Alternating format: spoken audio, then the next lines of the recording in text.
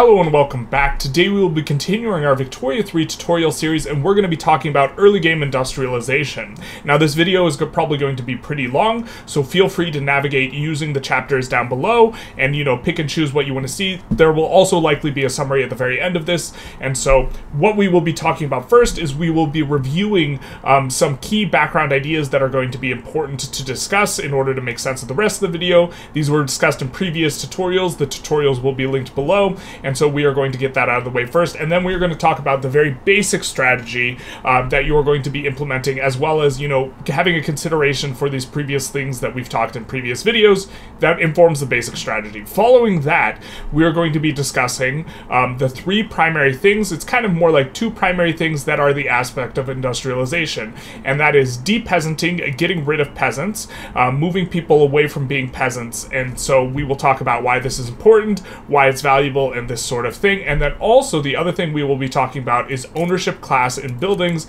why it's so important, and uh, you know how to think about it and this sort of thing. These are the primary thrusts. The third thing is going to be construction writ large, which kind of just is the arm by which you can interact with all these things. And so we think about what we construct and what we do instead of constructing. And so without further ado, let's get into it. So there are five ideas from our basic economics tutorial that are going to be uh, extremely relevant here, so we're going to discuss them briefly. The first is the building is kind of how you create value in Victoria 3, and throughout this entire tutorial, we will be emphasizing that where you are throttled in the early game is how many buildings you can make. This is not the case in later phases of the game, it is the case in the early game. But moving on, the building creates value in two so sorts of ways. You have the weekly balance, when it's positive, this is value added to the economy. Um, you get this by take, taking the sell orders minus the buy orders, also the wages, and this is how you have the positive balance. But also, um, the wages themselves will also stimulate the economy. And so you are turning these goods, the process of turning goods into other goods while adding value in terms of balance and wages. This is how you create value in Victoria 3. The second idea is that prices are really important in informing what you should do. Um, generally speaking, uh, when stuff is expensive, this means you have an opportunity for a really profitable building. This is not the be all end all, but this is going to be very relevant because we will have a bigger positive balance when we construct something that has a really expensive output good. Um, the third kind of idea that we will need to talk about is we are going to be emphasizing construction. The reason for this is the fourth idea uh, because the, we can think of our construction as our GDP growth rate. We think of construction as our GDP growth rate, at least in the early game. Later on, this will fall off, but in the early game, we think of it as our uh, you know GDP growth rate. So we will be focusing construction this is another important idea, specifically wood and iron, because when we add construction, we will create buy orders for these. This drives up the price, which is going to make all of these industries more profitable. In this tutorial, we will be explaining more deeply why we are focusing wood and iron more so than fabric and tools. This is an important idea. And then also, uh, what we will be talking about, or an important idea from that tutorial, is that capitalist ownership is going to matter because capitalists contribute more money to the investment pool. And you can think of industrialization, the process of industrialization, as you are trying to get as much capitalist, uh, as higher proportion of capitalists in your economy as possible. And this is important to emphasize in the early game, and it's also important to emphasize that in the later stages of the game, this is far less important and sometimes even bad we won't talk about how it's bad in this tutorial though, because we're focusing on early industrialization when it's good. The other linked tutorial is on local prices. We're not going to go into a deep explanation here because we have a lot of deep explanations of local prices in various places, but the main idea is that your prices are going to vary from the market price at a local level. And we can think of this as our real price. When we look at this, this is the real price we pay, which is influenced by both the market price and the local price. And so when we have an excess of a sell orders, in this case coal, we are going to get a decreased price, which is going to make our coal less profitable. Local prices will always negatively affect you, and you always want to try and balance stuff locally and create economies that are vertically integrated. And what I mean by that is that if we have an iron mine, this iron mine creates a buy orders here for both uh, tools and coal. In terms of where we place stuff, it's going to be preferable that we have all of the inputs for iron mines here, and also all of our buy orders for iron. In this case, we're probably going to be driving it through construction sectors in the same place.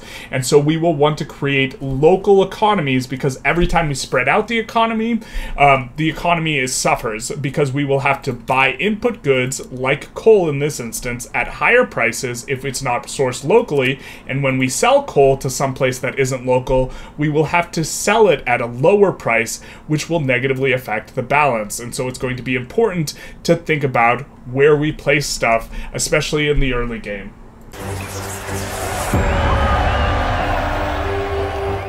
So the first thing we need to think about is where we want to build. Um, there are going to be three considerations we have when deciding where to build. Uh, briefly, they are going to be, um, do we have peasants there and how many peasants do we have there? Do we have infrastructure? This is a more important question when you don't have railroads. And finally, and most importantly, how mappy is the state? What does the state's mappy look like? And what I mean by what does their mappy look like, I mean, is it a rainbow state?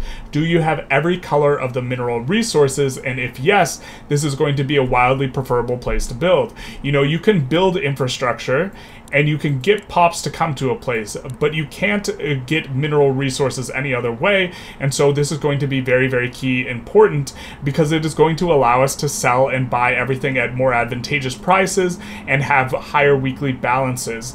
Silesia for Prussia is a very good example of a, a, a full rainbow state because we have every one of these mineral resources. You know, especially in the early game, there's going to be the three that are very keyly important, which is going to be iron mines mines, coal mines, and logging camps. These are the three most important, um, but sulfur is also going to become important, for example, when you get access to nitroglycerin, because the uh, explosives factories, which are going to get used in all of your um, mining industries, are going to consume sulfur. And so if we have sulfur in the same state, our sulfur mine will get to sell at a higher price, and then, you know, our explosive factory will get to buy at a lower price. They will be able to sell explosives to the iron and coal mines at a higher price, and the iron and coal mines will be able to buy at a lower price, and all of this will increase the profits. And so having all of these together is really, really strong. Now, there are going to be some other considerations, but this is going to be first and foremost the most important. Now, Prussia had access to railroads, which means that infrastructure is much less important for Prussia. Um, it's not the same for Great Qing because it will be quite a while before Great Qing gets access to railways, mainly because you're going to be researching, you know, first Romanticism and a stock exchange, and then you have quite a few texts to go, starting with cotton gin all the way into railways. It's going to be a while.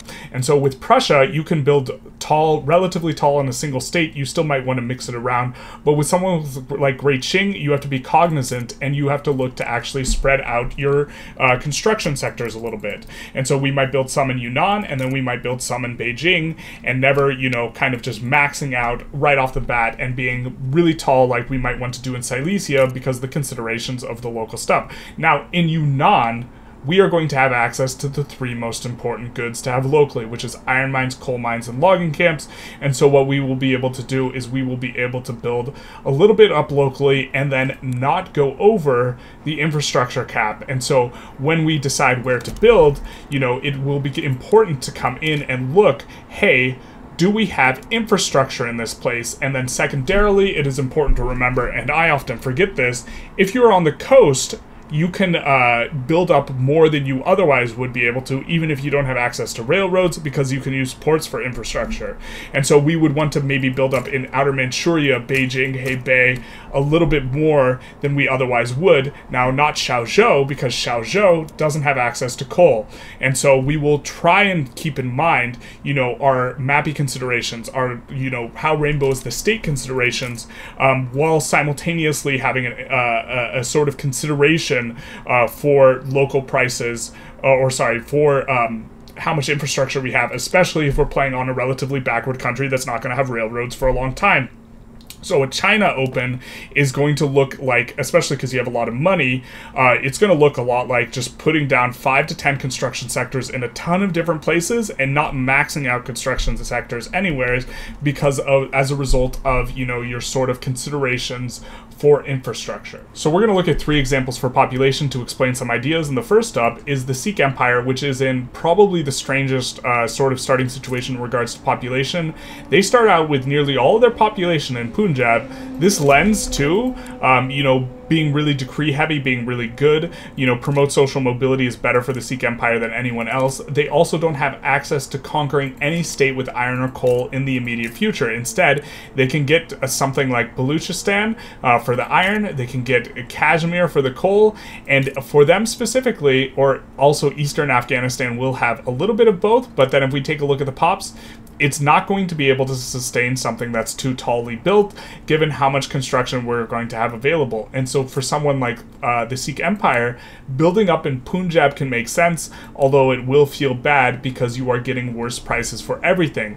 But you will probably be unlike it's unlikely you can bring all of your construction to bear in some place like Eastern Afghanistan, where you will have turmoil penalties if you conquer it anyways.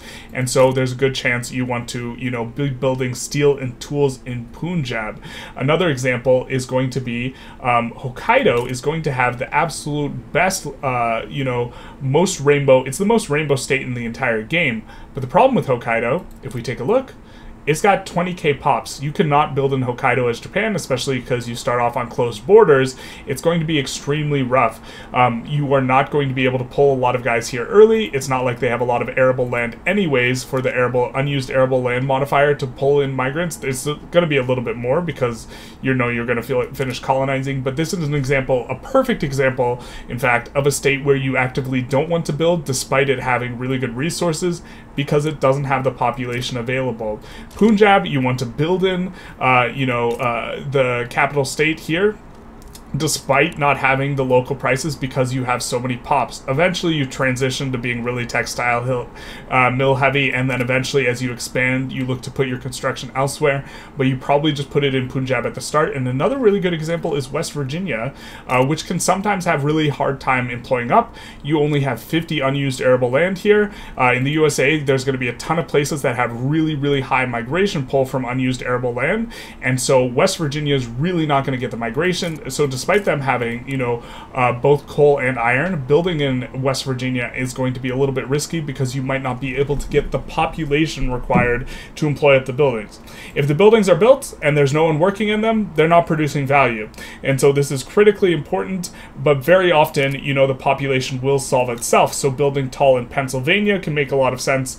Um, there's also another consideration for Pennsylvania specifically, which is that the USA has a unique company in Pennsylvania that requires requires you having a level uh, 10 steel mill. And so uh, Pennsylvania, uh, and the company is Carnegie Steel. Let's see if we can see. This is going to require a level 10 Pennsylvania. This is kind of an additional fourth consideration. Uh, but if we know we want to get a steel mill here first, despite the fact that Pennsylvania has, you know, worse, uh, it's not as rainbow as Alabama, building in Pennsylvania first is probably going to be better. Although notably, Pennsylvania does have uh, bonuses uh, to throughput in both coal and hardwood output, whereas Alabama just has the hardwood output.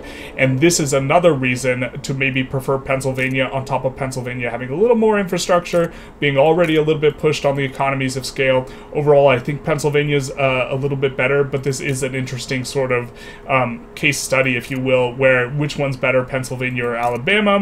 I think it's Pennsylvania, mainly because you want to build your steel here. You want your first 10 steel things to be here. And if your first 10 steel are going to be here, you might as well build the tooling workshops, which consumes the steel here, and the inputs for the steel in both the coal and the iron. And so this is going to make a lot of sense. Now, very quickly, how can we parse through this information in the UI? Uh, it's useful to just go into the industry tab, pick anything. It doesn't matter. Go to settings, switch it to peasants or unemployed. This is going to be the most important. And sort by this this to see where you have a lot of available pops. Getting rid of unemployed pops is going to be more valuable, so we might want to build in Virginia earlier than we might normally want to. Also, Alabama earlier than we might normally otherwise want to. Um, we might want to build up a few construction sectors here, although still probably focus the steel in Pennsylvania um, and hope that these people migrate out. Um, the second thing is we can also sort by infrastructure in here. Very, very simple.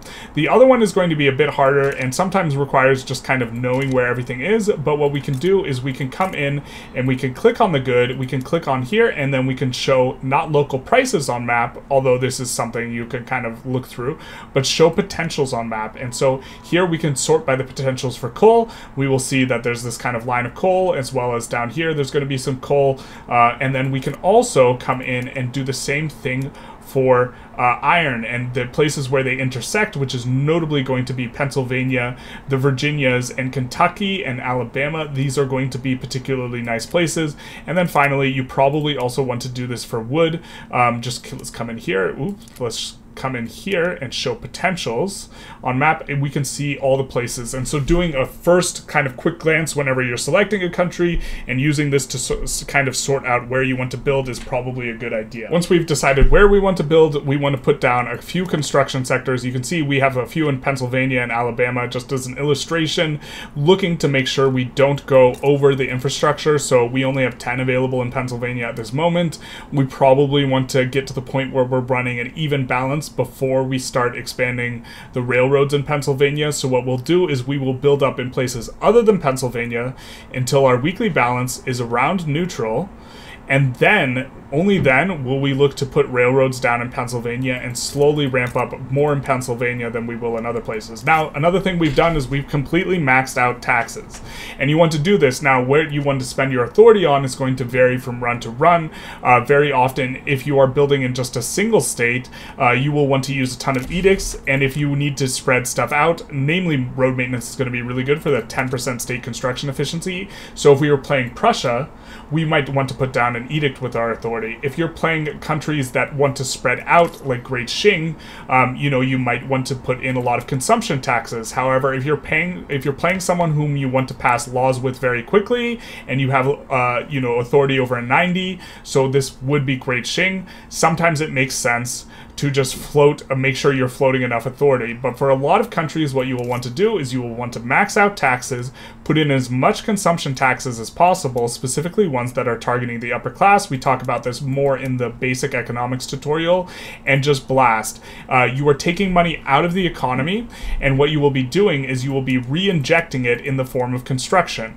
And so we will be effectively, in some sort of sense, transmuting buy orders for consumer goods um, because when we tax these people, they will be able to afford less consumer goods. Their SOL will go down. The basket of goods they buy will go down. The prices will go down. This sort of thing. We will be transmuting the demands for all of these goods to the construction goods so this will re-stimulate the economy and it will give us opportunities to build profitable buildings specifically in the things we have already kind of had an eye towards, which is going to be wood and iron most specifically, but also coal is going to be important because of completing the loop and we will also, you know, value tools as well uh, and kind of ignore fabric or look to solve fabric through trade. Now, when these construction sectors finish, we should have really inflated prices for all of these goods. So we can do a little bit of magic and see when they're more expensive. So we've let it build for a hot minute, and you can see the price of these is going to be high. This means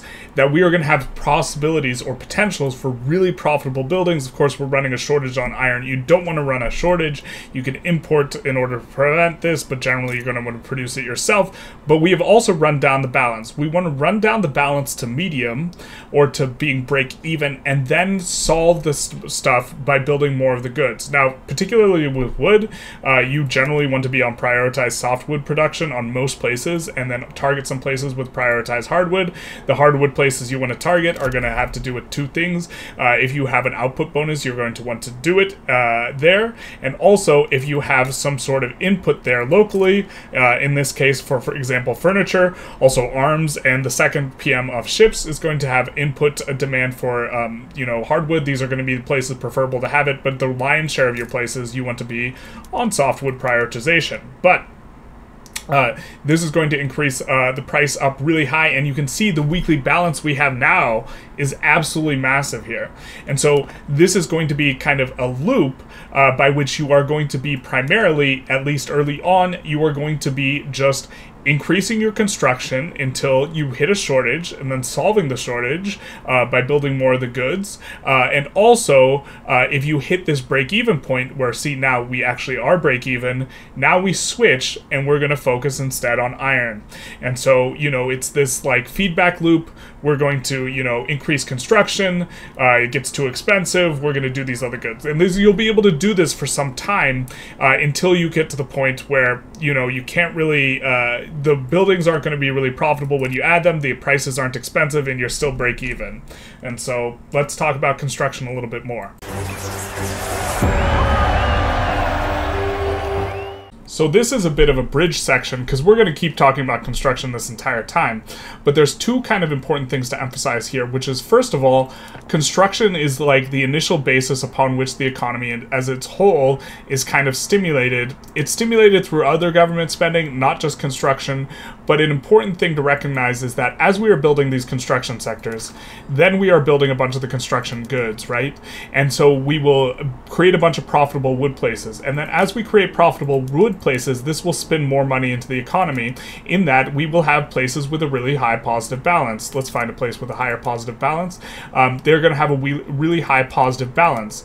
This positive balance will then get spent mostly on consumer goods. We will get some reinvestment, but it will be get spent mostly on consumer goods. So we are driving up the price, then we are creating opportunities for really profitable buildings like the logging camps, and then we are satisfying that opportunity, driving the price back down. But in doing so, we are creating a really high weekly balance, and this weekly balance is then spent on consumer goods which drive up their price, which allows us profit uh, opportunities for profitable building. It's not the case that you should never build any consumer goods. It's just that you should have a preference for not building as many or focusing it on as much unless you know you can get a really really profitable building which you can get really high earnings once you spend money throughout the, through the economy and really ramp up construction and all the industrial sector.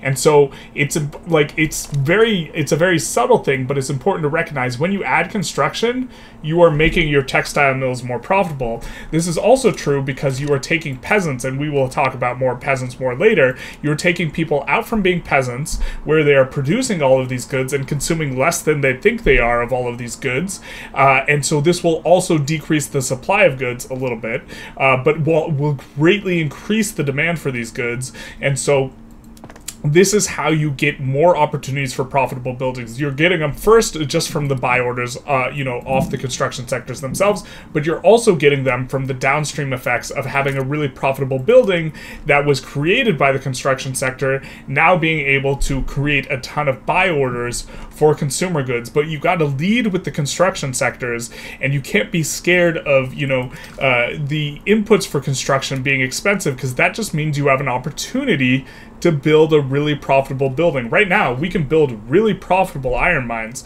Now, another thing that's important to emphasize, and we probably should have done it in the earlier section, the PM before atmospheric engine on iron is Dookie. We're going to talk a little bit more about PMs now. Just to be clear, we're going to be busting out the spreadsheet, so if you have any children under the age of 13, ask them to leave. So we see here the iron mines, and we are going to need to unpack this spreadsheet because it's kind of a lot to take in, and we are going to be leaning on it quite a bit for the remainder of this tutorial, and so uh, let's get to it. So the input column is the input goods multiplied by the number, uh, the base price of the good. So in this case, for picks and shovels, this would be tools. Um, I think tools have a base price of 40, so this must be an input of five tools for the input goods price. For output, it's the same idea, but it's multiplied by the output goods, and we get the net by uh, taking the output minus the input, and uh, this is going to be very, very important to the late game. But in the early game, the net is not as important. What we care about in the early game is the net construction efficiency. The reason for this is construction is a limited resource. And even if a building is more profitable on its own, we care that the amount of time it takes to construct. And so, for example, uh, in the early game, we'll be on sawmills. Those have a net of 1,000. Uh, but if we take a look at the iron mines on condensing pump engine, which is relatively early, we'll see that they're 1350, which might make you think, hey, I want to produce more iron mines. But on a per construction basis, we're adding 67 value, or per week of construction basis, we're adding 67 value with an iron mine at base prices, it's important to emphasize that if the price of iron is high enough, this will be way higher, right? Uh, but on a per construction basis, we're adding 67.5 of value. And then on a per construction basis, per week of construction, we're adding 100 with sawmills. And so this is a very, very important thing, and it is going to make it so that resources in particular are always looking better at a net construction efficiency than the manufacturing goods. Now, the manufacturing goods, like let's say the tooling workshop, if we take a look here, the net is going to be 1600 so the net on the tooling workshop or on the tooling workshop for steel tools is very very efficient in the sense of a per worker basis, but on a per construction basis, it's not as good as iron or wood. And this is the main reason we are focusing on this. Coming back and kind of explaining some more of this, we have this efficiency column. Now, we're not going to talk too much about equilibriums because this is a more advanced concept, but the more efficient a building is, that is, the greater the amount of its output divided by its input, this means the building can still employ up uh, and be profitable with a lower price. So with an efficiency of 600, because the output is so much bigger than the input here, we can have a really, really depressed wood price and still have buildings be profitable and employ up. Um, this means that with stuff with really low efficiency, you should never try and get the price really low. So uh, the particular standout is going to be steel has a really low efficiency. You, this is why you can't really get steel prices very low in the economy because they will hit equilibrium employment faster. A quick note on throughput and also the spreadsheet is it's primarily evaluating stuff on how efficient uh, something is per construction. If you're absolutely out of labor, you stop caring about how efficient something is per construction and you start caring about how efficient it is per laborer. In which case, you know, throughput starts to improve or starts to look a little bit better, you know, on the industries, uh, stuff like steel mills, motor, uh, motor industries, and tooling uh, manufacturers, uh, because these are generally, you know, these construction costs, these 800 construction buildings, tend to be more efficient per worker um, than per construction. But if you're not in this case, uh, it's going to be less important. Just a brief note, the dye workshops will be a little bit better because it's assumed you have craftsman sewing, which will add a marginal 20 value going from, you know, nothing to craftsman sewing will add a little bit, so 46, but that 46 is still nothing compared to, you know, 100 on a per construction basis. We're not going to go too in depth into late game scenarios here, but I just wanted to show off uh, this Minas uh, we have here in a late game Brazil, where we have uh, a furniture manufacturer that's fully, fully employed, very, very, very profitable, and also a logging camp that is not profitable or not profitable enough to maintain full employment. It's at an equilibrium employment. It's not really employing up. It's been at a low employment this entire time. And the reason for this is not that logging is a bad industry, nor do we regret building 24 of these. This was really, really good in the early game. But what this happens is this falls off because on a per worker basis, um, this logging camp employing 15k, the 15k would be better served to be employed in the furniture manufacturers because it's more efficient per worker. In fact, we're even using assembly lines here. Um, this is a dark, dark timeline where assembly lines actually make sense to be using for us uh, because we have, well, part of it's we have a ton of throughput, and this is kind of a later and mid-game situation, but the bigger part of it is that these PMs on these low construction buildings are really, really efficient per construction, but they're much less efficient, you know, on a per pop basis. And so when you start running out of labor, which is definitely what has happened to us here in Brazil, when you run out out of labor, then the paradigm will shift but in the early game, you are going to care really, really about low construction buildings. So coming back into, you know, the spreadsheet for the illustrating the point, we were on electric sawmills, and I don't think we were on hardwood production. Um, so we had a net efficiency of 1450, and we didn't read too much into, um, you know, prices because they were all relatively middling. Uh, but we had a uh, net of 1450 on electric sawmills and a net construction efficiency, efficiency per construction of 145. And I don't remember if we were pushing hardwood or not. Uh, but coming on over, if we were pushing hardwood, the hardwood price is depressed, so it's kind of whatever. But coming on over, the efficiency per construction of the furniture manufacturer is way less than 145. But we come and take a look, the net is going to be the 750 plus this, it's going to be 2450. And so the efficiency per worker is much, much higher. Now, in the early game, we don't care about that. We care about net construction efficiency.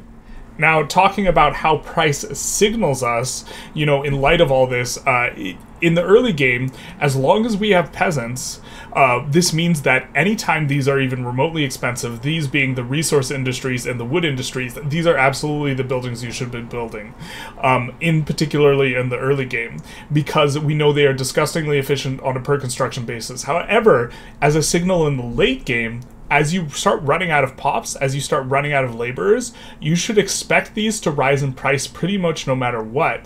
Um, e- even if you have a ton of available resources, just as a result of your economy recomping to uh, be more pop efficient towards more of these industrial goods, which will have more outputs, uh, you know, per laborer rather than per construction. And so, just in terms of identifying the pricing signals, um, you are going to care about uh, price differently depending on how much pop, what your population looks like in relative or have a, how many gainfully employed you have relative to peasants. Uh, but we're talking about industrialization. We're talking about the early game. We're talking about while you have peasants. And so, as long as this is anywhere remotely in the realm of like high or high-ish or middling, you should be building with your construction uh, wood first and then iron. And there's another reason why you should build wood, is because we are going to overvalue uh, beyond just uh, you know the output per construction, which is something that's fine on fabric, which we're not going to value. Uh, beyond that, we care about getting rid of peasants. Okay, so the best way to think about peasants and why you should be getting them off of subsistence farms, uh, in particular, is that they are crypto bros. They buy fake goods with fake money. Allow me to explain. Uh, the peasants are working the subsistence farms, and the subsistence farms they pay them wages, not a lot, almost nothing, and instead they pay them in what is known as subsistence output. This is fake money. It doesn't exist in any other form, it is not taken from someone else, and it is paid to the peasants. The peasants then turn around and they use this to buy goods, but only 10% of their buy orders reach the market. And so only 10% of their buy orders uh, go into here, uh, but they are purchasing their basket of goods as if 100% went in terms of their income, and so they are buying with their fake money that they are receiving. They're buying with this money uh, that they are receiving in the subsistence output. This is money they receive, and then they buy the fake goods. If we take a look at the peasants and we click on one of them, we can see and take a look at the economy. We can look at their weekly pop income, and we will see uh, of the 23k that these guys are receiving, 18k of this comes from subsistence output. This is not taken from anyone. It is not taxed. If we take a read of it, it's an in-kind uh, income that peasants regenerate, uh, which represents the work they perform. The work they perform, fake goods, fake money, producing goods to cover their own needs. Unlike wages, subsistence output is not paid out from the building's revenue, so the building can still achieve revenue, and is not subject to income taxes. And so, we have fake goods, fake money. Now, I wasn't able to find in game where the tooltip is. Uh, it was buried. I couldn't find it, uh, but consumption is multiplied by 0.1 before adding it to state consumption. This is what I'm talking about when I say they buy fake goods. Only 10% of the goods they buy are real, and the remainder, the remainder is uh, just imaginary goods because it's not actually producing any sort of buy orders in the market. What this means is that when you build a building that is going to employ peasants up to the same SOL that they have normally, which to be fair, they tend to have, you know, not the most insanely low SOL. When you employ uh, one of these guys up to the point where they're going to have 9 SOL, what this is going to do is it's going to 10x their consumption and also uh, decrease the sell orders of these goods to the market. And so this is really going to drive up the price of these goods. In a, and this is what we kind of mean when we said, you know, in the last section, how driving and building a ton of buildings, driving a ton of construction is going to be pushing up these prices, in addition to the effect that you get from having a higher proportion of your economy in the industrial sector, which does have an effect, you are also driving up the needs by taking these people out from the subsistence farms, which is going to increase the prices of all your consumption goods, giving you opportunities to build profitable buildings. Now, even if we were building buildings that were exactly break even, um, it would still be worth it to take peasant take pops out from being peasants and instead moving them to a different building So, for example, farms, uh, you know, food industries, uh, logging camps, cotton uh, plantations. And the reason for this is that this economic activity is actually just 10% economic activity because there's so much fake activity, there's fraud going on. And instead, um, the reason why this would be preferable is because GDP matters and GDP matters on the back of it is going to affect, particularly in the early game, minting. You get minting from a base value and then also a percentage of your GDP. You can see here we have 17 million GDP. We get 1700 uh, in minting for free. And so this economic activity that we are receiving in the arable land, this is not a lot of goods that are being output. GDP is calculated based on your output goods right?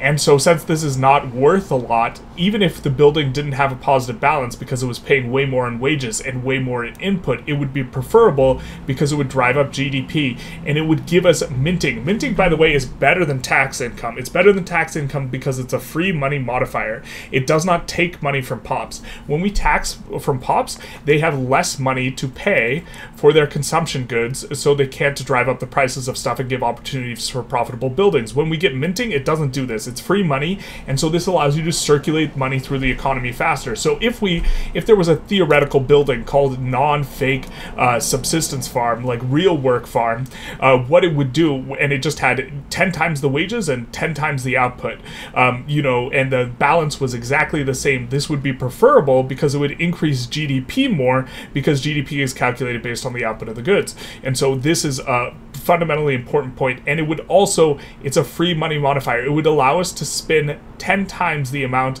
of money into the economy in the form of minting. Now, Qing is an interesting one to think through here because Qing actually doesn't have a lot of buildings.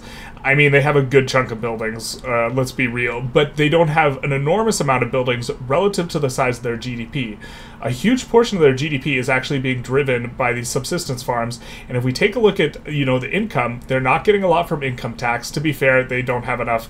Um, they have a lot of tax waste and this type of stuff. They're not receiving a lot from poll taxes relative to minting. They will have the most minting in the game, um, you know, relative to their national revenue out of any other uh, country at game start that is not leveraging gold specifically. Um, and so you can kind of think about it in this situation of Great Qing, why they have so much income is kind of because they have 36 million pops working real jobs. Now, I say 36 billion pops working real jobs because they have 360 million ones working fake jobs, but this is going to, uh, you know, over the course of a very large number, uh, it's going to allow for you know a quite a big amount of minting to take place.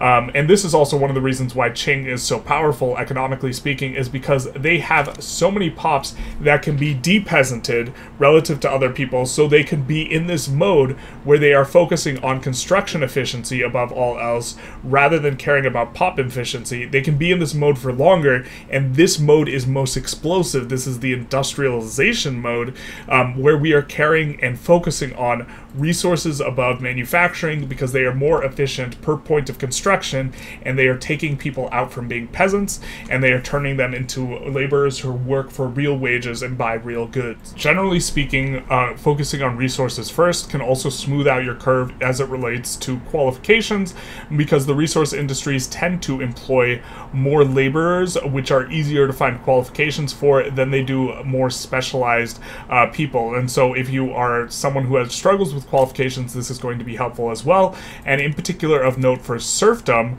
is it enables serfdom here uh, in, the production, which is only going to give three fake money, um, and is also going to produce more grain as opposed to uh, you know uh, free peasants, which is going to be tenant, commercial, homesteaded, etc. All the other ones, which are going to give four fake money, which is going to increase SOL, which is going to help to positively affect qualifications uh, for a lot of uh, you know qualifications, it is contingent upon you know education access, and academia uh, is going to give wealth education access uh, as will empiricism, and so the additional uh, one fake income uh, will allow you to, and it's quite a bit more than one. It's just one of one unit of fake income will give you know quite a bit of SOL, and so moving from serfdom to free peasants is going to be an important thing to take note um, as part of you know your industrialization strategy. You are going to want to do this, even though you will produce less grain.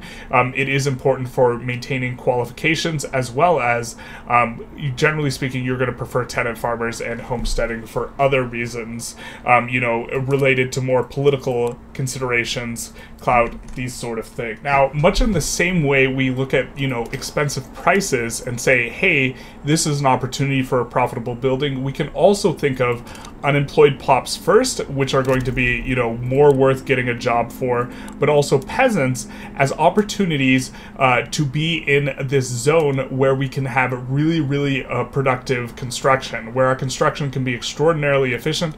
We'll prefer to go after unemployed first because unemployed people are working 0% of a job. Peasants, you can think of them as working 10% of a job that's really not even that efficient anyways, because uh, even if you 10x stuff, it still wouldn't be absolutely incredible.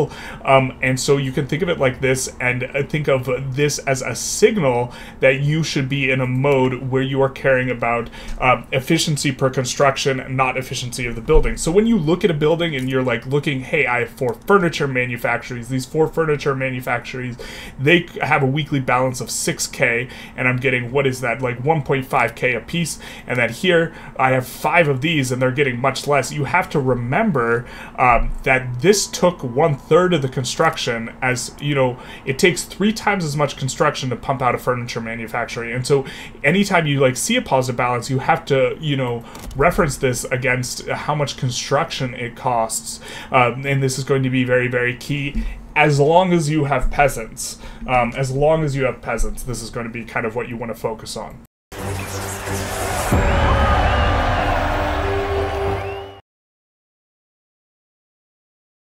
So at this point, the elephant in the room is why don't we build cotton plantations?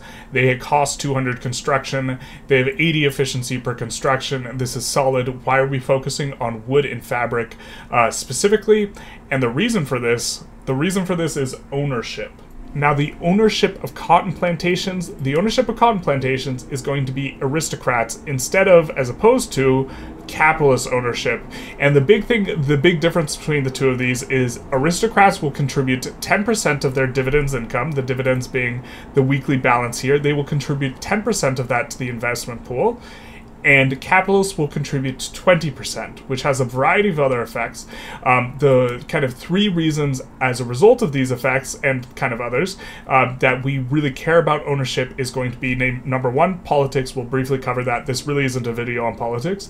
Uh, number two, it's effectively a tax on the upper strata, which is a preferable type of tax, and so we would prefer it to be bigger. And third is going to be uh, the free money modifier that you get off of the industrialist uh, contribution specifically. So, um, kind of just quickly covering the politics one, because this really isn't a video on politics, uh, landowner class will be empowered when you have a ton of aristocrat owned buildings. Generally speaking, the landowners favor laws you really don't like, and so this will make politics a little bit more annoying. Um, if you import, you know, the agrarian goods and you depress the amount amount of the profitability of these guys and the amount that the auto queue will build. Because when you import something, if we import grain, for example, it will be less likely that our auto queue picks it up. So fewer of these will get built, they won't be as profitable, they won't expand as often, we will get fewer landowners. And so um, conversely, capitalists are primarily industrialists. Uh, they are not primarily landowners, they are primarily industrialists. If we take a look and we hover over here, and we hover over here, and we hover over here, we will see they're mainly industrialists and a little bit of armed forces. They favor a lot of laws you really like, like, for example, laissez-faire, which we'll talk about in a little bit, um, uh, but they also favor, you know, free trade, which is going to be really good when we talk about trade. We'll touch on this a little bit, but uh, not quite a video on trade. Um, and so we are going to politically prefer the capitalists because it's going to positively affect clout. Money is a huge driver of you know clout in the game, and one of the big reasons, one of the very very big reasons that getting the landowners out of power is so hard in a country like let's say Qing, is that they have so much aristocrat-owned buildings. And I know what you might be thinking. What do you mean? They really don't have that that many, and they actually have quite a few of these capitalist-owned buildings. Well, the subsistence farms are aristocrat owned. The ownership in these is going to be aristocrat slash clergy, and this is going to greatly empower some of these high pop starts. And so, um, you know, it's going to be a, a, pretty big difference in terms of clout. And so, this is just something to consider, but it's not going to be primarily what we're talking about. So we can think of uh, this IPT transfer as a tax. Um, it's a 20% tax on capitalists and a 10% tax on aristocrats, and this is an extra tax on the upper class, which is very, very much preferable. And so, um, you know, just kind of taking a look at it, we can see 1K is going to going to be spent on their needs, and 272 is going to get reinvested. It's going to go to this investment pool. Now, as a proportion of your income, especially in the early game, before you get onto proportional taxation plus, um, the investment pool is going to occupy a larger proportion of your income, as is minting. Uh, and so uh, we talked about why minting was important to depeasant pops, but the investment pool, um, as if it's a larger portion of your economy, it's going to be more important that you try and make up your economy in such a way that you're going to be generating more through investment pool. Now, thinking about the 80 and 90, um, we would prefer to create buy orders for construction. Um, when an aristocrat is uh, spending 90% of their money that they are receiving through dividends on these goods, they are pushing up the prices of all these. When a capitalist spends 80%, he's pushing up the price of all these. When that 10% from the aristocrats goes into the investment pool, it instead can only be used to buy construction goods, so it's pushing up the price of those, which are the industries we're focusing on, and we would prefer to rise in price more, especially because we will benefit more from economies of scale the capitalist spends double. Now, on top of this, we would prefer to tax the upper strata. Now, we covered this in kind of the basic uh, economics tutorial that we did, but just very briefly, um, the upper strata has exponential needs. So the higher and higher your SOL gets, um, this is going to increase at an increasing rate the amount of stuff you consume that's luxuries. So, for example, luxury furniture, there's a few other exponential needs. So at like SOL 20, we might consume 10, and then SOL 21, we might consume you know, 11, and then uh, at SOL 22, it might be uh, 13, going up at an increasing rate. And so this means uh, in order to move up to the SOL, next SOL level, you will need an exponentially higher income. And so you cannot push up SOL very, very efficiently if you are in the upper strata because you will need more and more and more. Having a high SOL or high average SOL is a good thing. Uh, so when you tax the lower strata, they have largely linear needs um, their needs go up in a much more linear fashion with related uh, to how much money they are getting or in relation to their SOL. And so when they get money, when they get 50 coins, they can increase their SOL more than when the upper strata gets 50 coins. And so always you are going to prefer to tax the upper strata. And so getting something that is effectively a 20% tax on the upper strata, you know, at least their dividends, is tremendously useful, even if the building has a lower weekly balance um, because we would prefer to create buy orders and add construction and add construction goods rather than creating buy orders for consumer goods, um, you know, which is the effective difference between the two of these. This is why, by the way, when we talked about taxes, we talked about how taxing liquor might not be preferable to taxing something that makes less money because the less money thing, the luxury clothes, are specifically tar- targeting the upper strata, so it'll positively affect your SOL. Now, sometimes you just want to blast construction, you don't care about SOL that much. If you have a lot of peasants, you don't care about SOL, and you just blast on the liquor anyways. However, it will negatively affect your SOL more than extracting taxes through luxury goods. But beyond this, beyond the tax consideration, which is already really substantive, right? It's important to emphasize that this is just extra income at a point in the game where you don't have a lot of income if from the pops that you particularly want to get income from. You want to extract wealth from them. Um, beyond this, it is easier to stack free money modifiers on your industrialists. See, the industrialists will always contribute 20%, no matter what. Um, this is the amount they contribute. However, sometimes a different amount will actually get there. There are both bonuses and maluses, and if we come into the industrial thing, we will see that uh, we will get 10% uh, capitalist investment pool contribution efficiency as a bonus when they are happy. This will get doubled if they're above 20% clout for a 20% bonus. But at the 10% bonus, what will happen is they will contribute 20%. From their dividends, 20% will be extracted every time. But 22% will be what hits the investment pool. So that extra 2% that's free money, baby. And if it's free, it's for me.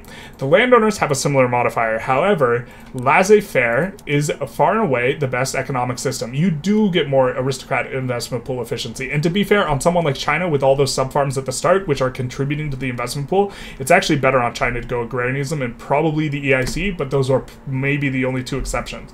Um, because you can't construct an entire economy with aristocrats, but you can construct most of your economy with capitalists. But kind of brushing that aside because that's a mid-game kind of conversation, the capitalist investment, you can get plus 50% here, you can get minus 25 on the capitalist if you do this, but keeping these guys happy is going to be hard throughout the game, and eventually you will actually just collapse the prices of all your agrarian goods if you decide to go, uh, you know, for agrarianism. And the reason for this is because you have no way of really pushing buy orders for all of these goods. Um, you can push the buy orders for stuff like all the construction goods by building a bunch of, you know, uh, what is it, uh, government-owned buildings, um, you know, that push up this stuff. Uh, but in particular, over the course of the game, agricultural prices tend to get depressed, which is going to eat into your profit, and then uh, it's not going to matter that you're getting, you know, this huge investment pool like a bonus of plus 50%. But even if you are getting plus 50%, to be fair, that's a bigger free money modifier. Um, that's a plus 50% on their initial modifier or their initial amount of, uh, you know, uh, what is this? Uh, they are contributing 10%. So getting plus 50% um, on this, on top of plus, uh, 20%, is like they will get plus 7% um, in the best, best case scenario. With the capitalists, the capitalists will be contributing 20% uh, if they get, in the best case scenario, this 20%, and then you go on to laissez faire to get an additional 25%. Um, in that case, oops, that's not laissez-faire. Uh, laissez-faire will get an additional 25%. Also notable to the investment pool contributions efficiency. Also notable, this isn't a video about capitalism versus laissez-faire or laissez-faire versus other systems, but you are getting a company and also uh, minus loan interest rate, which are both incredible. But this 25% capitalist investment pool contribution, it will add up to a total of 45%.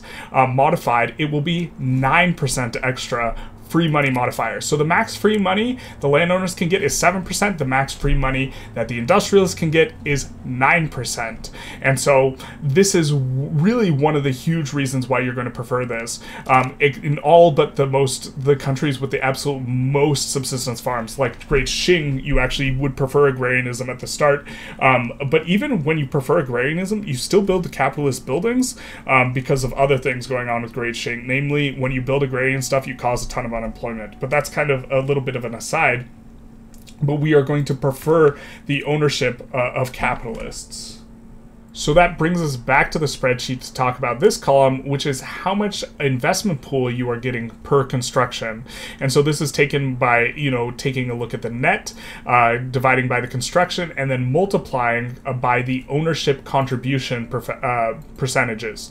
And so here we can see, um, and this is important to remember, this is giving you a free money modifier as well as a greater tax modifier. And so this is going to allow you to spend more money into the economy, both by extracting and then re-injecting in terms of construction goods, and also the free money just spins better.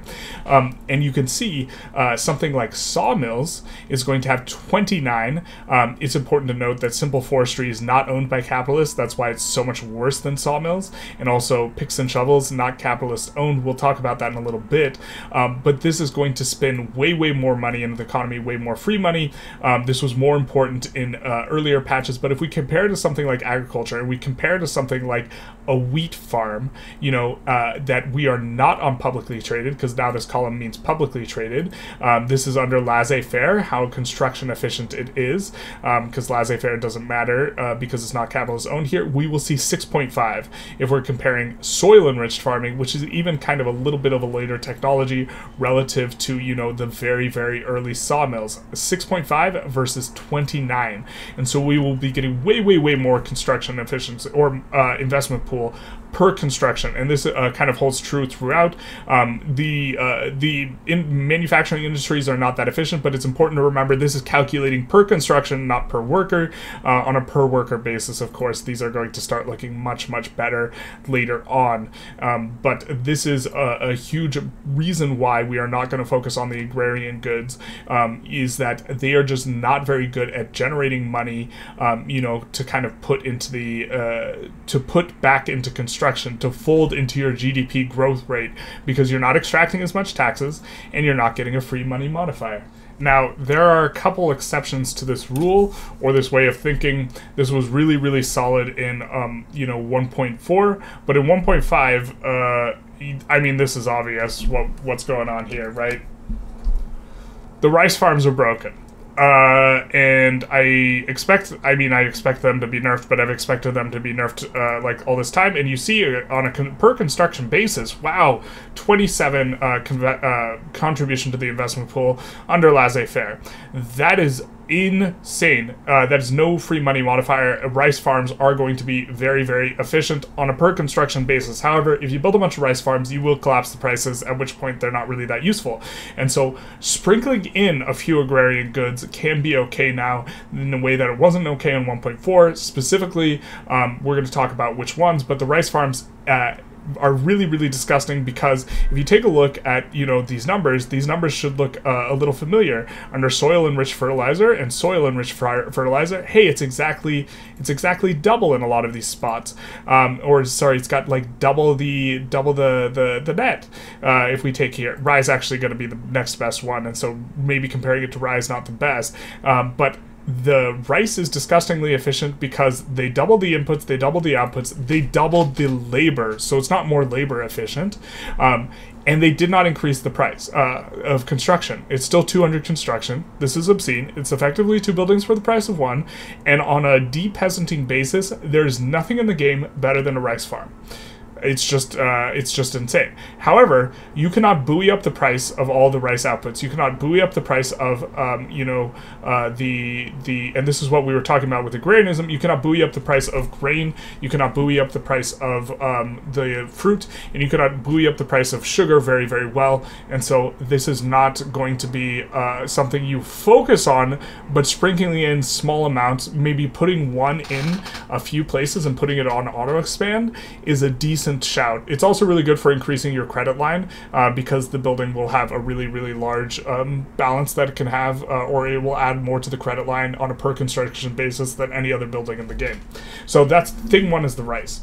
Um, thing two is rye farms are relatively good, and they, in particular, their secondary good is going to be liquor, uh, which is kind of a preferable secondary good because it'll more positively affect your SOL than a secondary good like um, sugar and fruit. And so rye farms are going to be kind of the next next best grain, and building a few rye farms is going to be, you know, somewhat reasonable.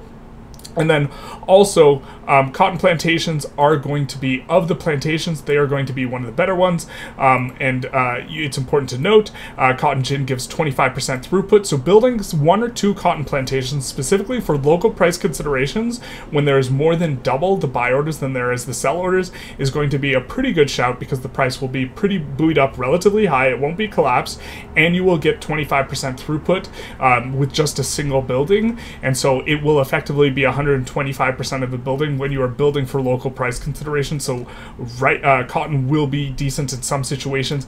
Opium is going to be good just because opium is pretty efficient, um, and also you kind of want to lock in uh, your opium slots. Sometimes, if you don't have a lot, you want to make sure that your your place is producing opium. So this is another one, and that is kind of you know it in terms of like what you maybe want to focus. I guess a, a, an occasional dye, and uh, you know you. I think if something is at double the the buy orders and sell orders, then you can start building these things for local price reasons a little bit.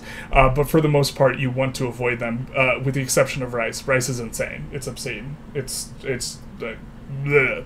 I expect it to be nerfed, which is why I didn't make it like an emphasis point of this video, but it hasn't been nerfed. It's like on a per construction basis, important, not per pop basis, on a per construction construction basis, it's just absurd.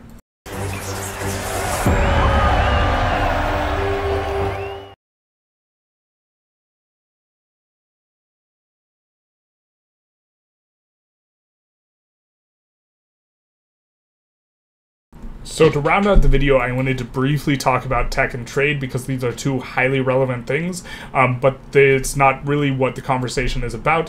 Um, and so for trade, uh, the way we are going to satisfy the sell orders as much as possible for the agrarian stuff we're trying to not build, we're trying actively to not build, is we are going to import it. Even if we're building a smattering of some of these goods for local price considerations, we will still want to depress the market price through imports in order to be more specialized in capitalist activity as a result of wanting to be more capitalist oriented. And so we will want to import specifically, uh, very much so on grain and fabric are going to be the two biggest ones uh, because grain has such a positive effect on SOL. This is also one of the reasons why building grain, even if it's not rice, is kind of okay, is because it's going to really positively affect SOL. So as you run out of peasants, grain becomes a lot better. Um, uh, you know, you're going to want to import silk and dyes, especially because China will generally produce silk extremely efficiently. There will be people with really depressed dye prices and you don't want to uh, try and produce dyes. A lot of these goods, you know, get really depressed in some of these markets, and you don't want to try and build it yourself. Um, you know, to try and uh, like minus seventy five. You there's so many minus seventy five for agrarian goods, and this is like if this wasn't the case, building agrarian goods would also be better. Better, but there's so many minus seventy five prices floating around that you can really depress the price of your inputs really low. On top of not being able to, you know, drive a lot of these uh, these uh, too high. But if we take a look here, minus 75 on this, minus 49 on this, you know, minus 21 on this. And so you can import stuff down, even eating a ton of efficiency and get a low price uh, such that it would not even be that profitable a building. It wouldn't be that efficient in your economy. And once you do that, then you don't want to build these things. Um, it's just, you know, if you are starting to ramp up, actually, maybe, maybe rye farms aren't even worth it when you can just import grain from China. It's, it's a little bit of a thing, but this is how you solve the problem. Um, you, this is how you import. And furthermore, um, you are trying to focus on wood and iron and to a lesser extent, you can also focus on fish a little bit, although this is a bit of a complicated thing relating to how substitution doesn't work how it should, because fish is a substitute for grain, but often if you focus on it too much, it gets more depressed in price for grain, and pops won't consume it uh, because substitution doesn't work the way it should. Um, so you can build a little bit of fish wharves because they are capitalist owned. They do cost 200 construction. It, I'd like to put them on auto expand in a lot of my runs, but this is something you could do. Uh, but as it relates to trade, coming back to trade, um, exporting wood is going to be really good. And also, you can import iron while you're still on the first PM, because the first PM is terrible, and after that you can switch to exporting iron and coal, and that way you are getting to you are um, by turning your economy to be heavier in the wood and the iron because this is effectively what it does. It drives up the price and it makes it so that you can build profitable buildings. With the inflated price you will have more opportunities for profitable buildings at a higher rate for these industries. And so what this does is it will increase the amount of wood and iron you can build relative to something say tools in the loop which is not going to be as efficient on a per construction basis which will allow you to de-peasant pops to industrialize faster. And so uh, you will definitely want to export especially especially the cheaper goods, um, or not cheaper goods, the goods of the buildings that cost less construction. That way you can be more specialized. I don't think you want to import tools. I do think you want to do you want to use local economies, and to be some to some extent, you want to uh, you will tolerate a lower price um, uh, wood and iron of what you're building before you want to build tools. But eventually, tools get expensive, and you want to build tools, and it's the thing you want to build. Um, they are they are more uh, they're also more efficient per pop, so they are a better transition good. They're really good transition good when you start starting to running out of pops. But that's not what this video is about. This video is about when you have a ton of peasants and you want to get rid of all of them. And so that is the trade kind of consideration that we have going on. So I wanted to talk about technologies that are related to this, uh, you know, process of industrialization, turning both capitalist and depeasanting, which for the most part, for most countries, will be kind of the tier one to two techs. But for countries like China, you're still going to be industrializing for a while, even to the deeper techs. The important techs to note in the society tech tree are going to be uh, stock exchange, which is going to give you 10% MAPI. This is the most important tech in the game if you don't have it researched. I think Qing is the only country that doesn't research this first, and it's because because they research romanticism so they can go agrarianism, um, but also corporate charters and joint stock companies. We didn't really talk about corporations too much. Um, we do talk about it in our corporations tutorial video, and they are going to be important, um, but we are not going to cover it too much. And also, to a lesser extent, pharmaceuticals unlocking, uh, you know, uh, health insurance is going to be something we care about. Uh, public health insurance is extremely meta. It will allow you to solve qualifications, um, and this is going to be something that allows you to be in the kind of zone where you are turning pops uh, from peasants uh, because it will positively affect mortality and also uh, pollution um, and a bunch of other things. It's going to allow you to stay in the phase where you're in the industrialization phase when you have a lot of excess pops. It'll let you stay in it for longer. For production techs, we have all the techs we need to emphasize here are going to be the techs that allow you to shift from being merchant guild owned, um, you know, to being capitalist owned. Uh, the very first PM of tools and pretty much everything, if we take a look, is not going to have capitalist ownership. Instead, they have shopkeeper ownership, which only contribute 5% of their income to the investment pool. You would never stay on these because these PMs are really bad, but just kind of quickly going through some of them that is important to note. Lathe does all the ones for consumer goods, or it does several of the consumer goods. It does for furniture, it does for uh, dye workshops for textile mills, and also leaded glass for glassworks. We're not focusing on these industries, um, so it's not necessarily super important. However, if you start out with a ton of these industries um, and you don't start out with lathe, this is going to give you a lot more capitalists.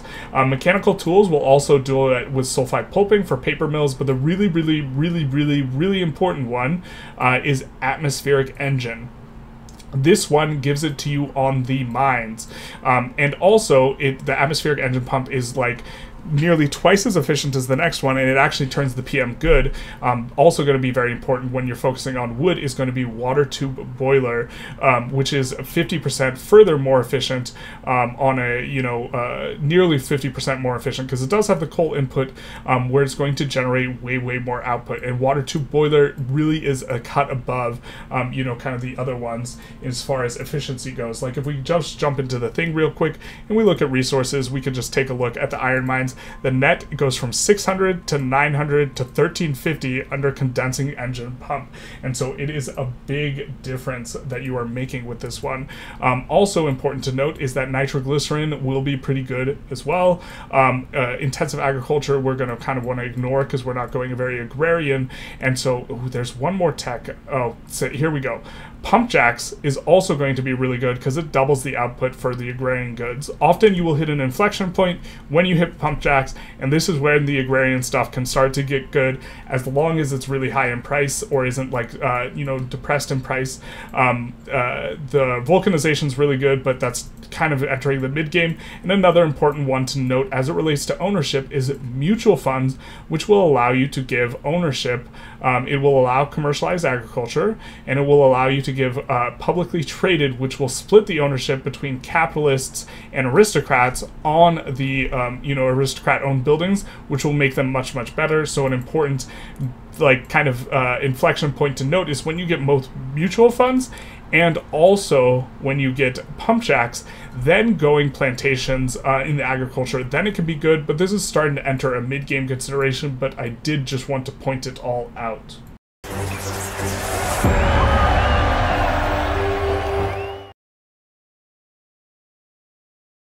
So I'll try and make the summary short since the video is so long. Um, the first thing you want to recognize is that industrialization is really about two different things um, happening simultaneously. Uh, thing one is you are trying to get rid of all your peasant pops and turn them into properly employed, not fake pops.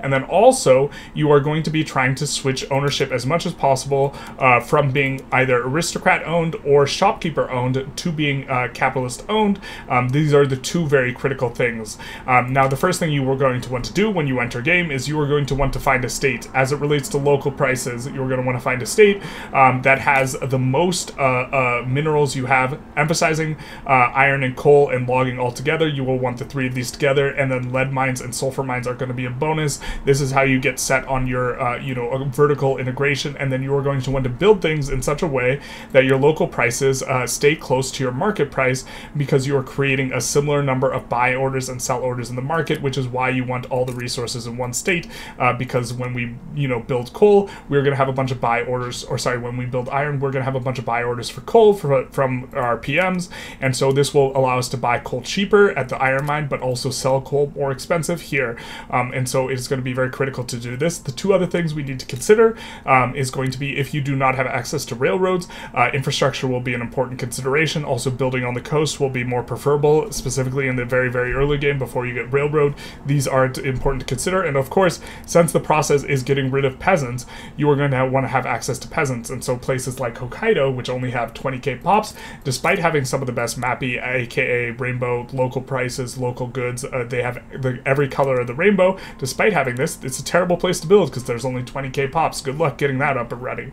And so that's going to be kind of what you think about. And then we are going to enter this phase where we are focused on industrialization. Specifically, what we are going to build is we are going to build like construction goods. We're going to build the goods that are in the construction loop, and we are going to focus on the goods that have the least possible construction. This is going to be wood prioritized only as 200 construction, then iron only 400, and then uh, tools, which is 600. We are going to put the fabric aside for a moment and come back to that. Uh, but the main reason why we are focusing on the wood is it's going to de-peasant pops as quickly as possible. Also, without getting into the spreadsheet, it's super, super efficient on a per construction basis.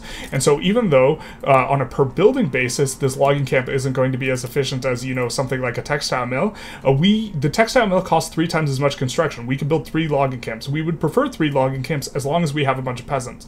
When the game starts getting later, and this is post-industrialization, you will start caring about how efficient you are on a per pop basis when you're running out, and then stuff like uh, textile mills and this sort of stuff, stuff that costs more construction, will start to become more favorable. But in the very, very early game, wood is king. Now, coming back to talking about, well, why don't we build the fabric? Um, the fabric is not going to be preferable because, well, one, when you shopped, uh, well, actually, let's forget about that point. When you, yeah, let's forget about that point. But they are going to be owned by cap, or not capitalists, by aristocrats.